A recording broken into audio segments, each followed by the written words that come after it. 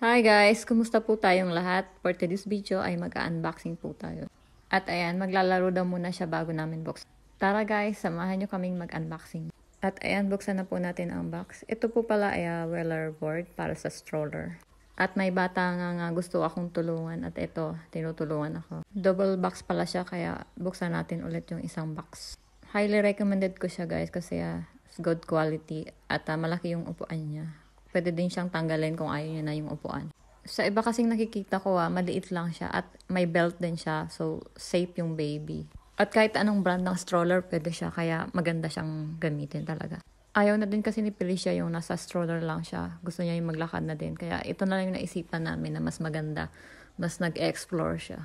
At tamang-tama lang to kay Felicia pagpunta namin ng school. Easy lang siyang uh, isakay. Nakaka-stress din kasi pag dalawa-dalawang uh, stroller. At sobrang easy din ito uh, ikabit guys uh, sa stroller. At ayan na guys, na-assemble na namin siya. Sobrang ganda. Sobrang easy lang ikabit at uh, tanggalin. Kaya napakaganda talaga.